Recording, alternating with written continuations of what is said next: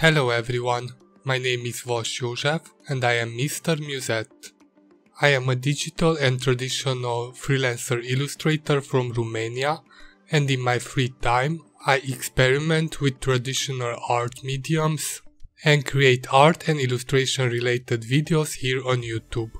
If you are new to my channel, feel free to subscribe and click the notification bell to be notified every time I upload a new video.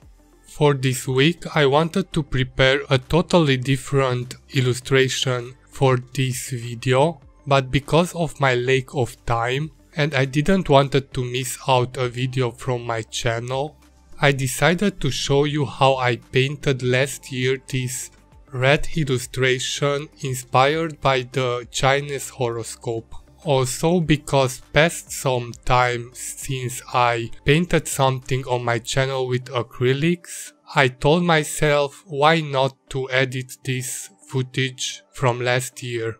Even if in the meantime I am still running my Universal Horoscope series here on my channel. So yes, this will be another illustration series which I will document here on my channel, but for this I will take my time because it takes more time than usual to create an illustration, especially because I create it with acrylics.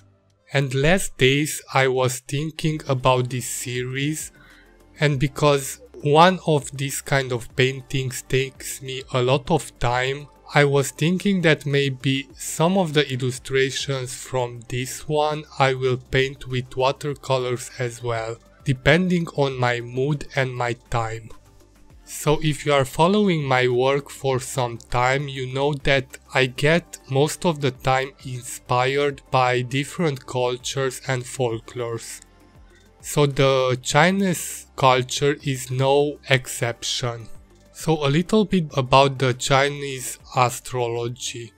Chinese zodiac animals have lucky meanings. Chinese people associate each uh, animal with certain characteristics.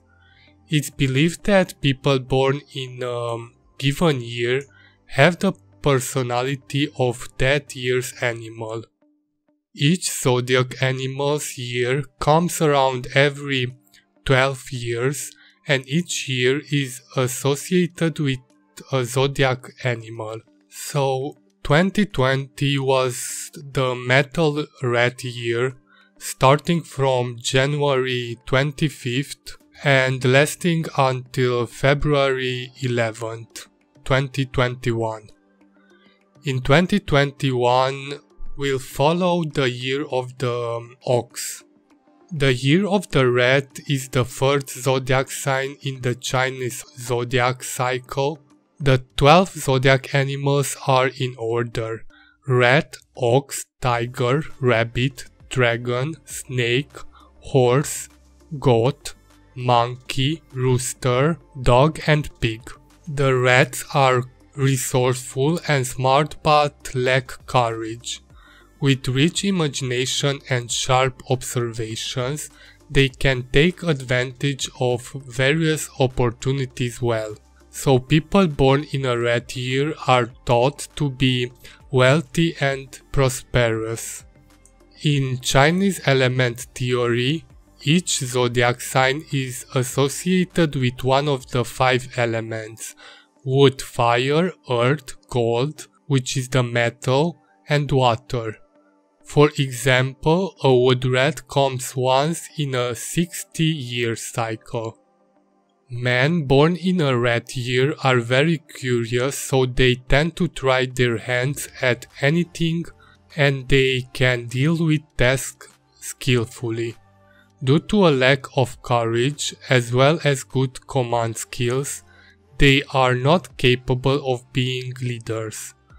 Opportunistic and picky as male rats are, they do not have broad minds but take a narrow view of things. Women born in a rat year are pretty, smart and lovely. They have quick minds and dexterous hands and are able to learn anything. Most compatible zodiac signs with the rat are the ox, rabbit and the dragon. The rat and ox have complementary characteristics and will help each other in their work and home lives. The rat and dragon will have a good relationship and support each other. Couples including a rat and a rabbit will get along well and be happy. Least compatible zodiac sign with the rat are the horse and the rooster. The lucky things for people born in a year of a rat are the numbers 2 and 3. Lucky colors are blue, gold and green. Lucky flowers are lily and African violet. The lucky direction are west, northwest and southwest. Unlucky numbers are 5, 9 and numbers containing them. Unlucky colors yellow and brown. Unlucky directions south and southeast. I will leave the link to the source information for all of these to check it out by yourself if you are interested in that and also if you would like to check out what kind of animal are you based on the year in which you were born. And after that let me know in the comment section what kind of animal are you. So as art materials for the illustration I used some paper for acrylic paints, acrylics the basic ones from Liquitex, Staedtler pigment liners at the end and a white Posca pen to add the white stars in the background. The technique which I use to create this kind of paintings are quite simple but very time consuming. First I plan out the illustration with a pencil. After that, for each section, I came in with a watered down base of color.